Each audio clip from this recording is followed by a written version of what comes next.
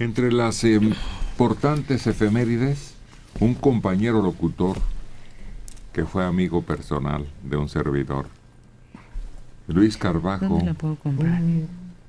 Luisito era de carácter muy afable. Murió un día como este 19 de diciembre del 97 y casi siempre trabajó en el Canal 11 del Instituto Politécnico Nacional. Prácticamente es fundador, ¿no? Sí, tenía un programa nocturno de esos maratónicos excepcional que después eh, lo copiaron en Televisa y trajeron a Rocha a hacerlo. Y después había comunicación entre ellos a la hora del programa. Él terminó trabajando con Rocha. Así por es. favor. Él se fue al 13 Y después a, a W. y luego a, con, a W, luego con Rocha. Estaba- llegaba a la W ahí y decía, pues, ¿qué hubo, ¿Cómo estás? Pues Aquí subiéndoles el rating. Mm, qué lindo. Permaneció ese programa nocturno que llamaba mucho la atención por lo, pues, franco Abierto. ¿Qué edad con que trataba los asuntos sexuales. Ágil, franco, objetivo, con muy buena información, simpático el tipo, dinámico, nada aburrido, nada. Y y no tenía, no vendía imagen, vendía talento, la verdad. Ay, me caía muy bien. Nos encontrábamos frecuentemente porque ellos transmitían béisbol Sí se puede. de la Liga Mexicana y nosotros transmitíamos también para la estufa, ¿no? Era muy XX, XQ o XW los partidos. Partidos. Y ahí lo saludaba yo. Él permaneció en el aire con su programa nocturno que de veras fue un cambio. Nadie creía No, no en la televisión por la noche. Y menos con temas sexuales. Menos todavía. Había un tabú, un No, miedo. pues yo creo que ese fue precisamente el, el hit. el dar con el clavo. Sí, sí, sí. Y lo que tú dices, el manejo tan natural, sin morbo, muy buena información, la verdad. Mujeres hermosas Muy y bonitas. expertos en sexualidad. Sí. A mí me llamaba la atención. Yo no me tocó. Pero presentaban a Jennifer y yo decía, bueno, a ver, ¿quién es ese programa de Comenzamos, no? Creo que sí. Ajá. Y ya vi a la Jennifer y dije, ¿eso? Eh, visto ahora, pues digo, me parece inocente, ¿no? Porque ahora yo veo otras cosas en televisión y salen casi sin ropa, en, en horario vespertino. Pero, pero el chiste de Jennifer es que Jennifer era una silueta, era una imagen. Y dieron con ella y la trajeron a la pel- al programa, era inglesa, una modelo inglesa. Y siempre tenían ahí a Jennifer, paradita así, como Un publicidad. recorte de Sí, carta. Sí. como- Y se dieron Como los de las farmacias. Como la de los cines, sí, la promoción de cine, la publicidad de cine, tamaño natural, en bikini. Y dieron con ella, ¿y quién es? Y Jennifer, y Jennifer, y Jennifer. Y un día está la silueta de cartón y se asoma la Jennifer de, de veras, la modelo inglesa. Mm. Y Eh, termina bailando, porque yo la he visto bailando en los videos, pero yo la comparo con la secretaria de Broso, por Pues, ejemplo, esa ¿no? idea, sí. Era Sí, la misma claro, idea, sí. pero esta no tiene ropa. Era un programa para perversos. No, yo creo que era un programa Para curiosos, para los que querían saber. pero también para perversos. para ignorantes, que, no- que en algún momento habéis llegado a la edad adulta y no tenías cierta información y mucho Sí. menos poder visualizarlo. Y, y- y Luis Carbajo tenía eso, que, que era tan descriptivo y llevaba tan buenos expertos, que era un manejo tan natural.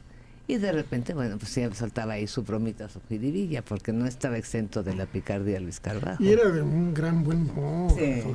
Y además nunca, hasta hoy, Canal 11 ha tenido tal rating. Jamás Sí, todo el mundo lo veía, sobre todo cuando tenía, estaba solo a esa hora. Sí, sí, sí. Él tuvo Leonardo Germán, este Piano Bar, Ujú, Sí, Sí. creo que fue su última serie, ¿no? En la XCW. no, Cancionero W. Ah, también. Sí. Pero Piano Bar era en vivo. Sí, también Sí. Cancionero W. Se quedó haciéndolo cuando salió un programa de W de canciones en vivo. Ah, y luego le dejaron el paquete de Es- llenar nuestro hueco, Ese Ese fue fue. Cancionero W y fue que se último. preocupó mucho y creo que eso le causó problemas físicos graves. De Mandaba. salud, ¿Eh? estrés, de salud importante, es- es- estrés, de demandas que le hacían. Iba con nosotros y platicaba que cómo le hacíamos. Y luego se quedaba viendo qué hacíamos. Y luego mandaba a alguien para que nos viera qué hacíamos. y, a, y a mí no me saludaba, pero ya después cuando sabía, porque yo creo que sabía desde antes, nos saludaba y nos preguntaba qué hacíamos, cómo lo hacíamos. Así, así hacía las manos, así como las Sí. hiciste, exactamente así. Fíjate que nuestro programa lo hacíamos pues con elementos tan simples, tan sencillos, tan cotidianos. Sí. Y cuando él llega, le meten marimba, mariachi, tríos, cantantes, le metieron una inyección muy importante, sí. Y ni así pudo, porque como que le faltaba el carisma, le faltaba el contacto natural con el público, que era lo que había elevado la otra serie anterior.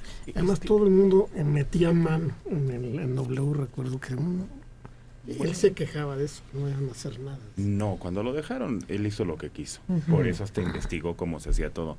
Pero él tenía la personalidad de un hombre nocturno, de un hombre tímido, de un hombre discreto.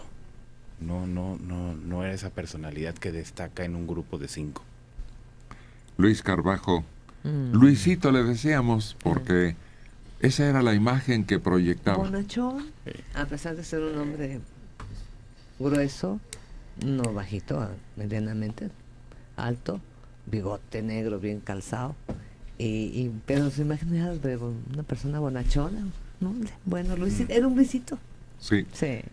Cuando nosotros lo conocimos ya teníamos referencias de él, no de su papá. Don Luis. Sí, que fue un hombre que tuvo una ¿No? anécdota muy curiosa. ¿Con esa de la que no, no se llamaba? Roque. No, Roque. Roque, Roque. Carvajal. Roque Carvajal. Que una vez salió a comprar cigarros y tardó ¿qué? 20 años que en regresar. Se quedaba muy Fue a lejos. Cuba chica, enrollada de cigarro. Algo iba. Roque, hojas muertas. Montecristo. Hoja muerta, Carbajo. Fue a dar a Europa y durante 20 años la familia no supo nada de él. Sí. Y al transcurrir, como en la Odisea, tal plazo que se presenta. Ya llegué vieja. Fui a comprar cigarros. Y su papá, pues, no sé si tendría varias canciones, pero hubo una, esa que trata de recordar Mario, que se llama Hoja Seca, Hoja seca, sí. y que se volvió muy, muy popular desde antes de que él se fuera.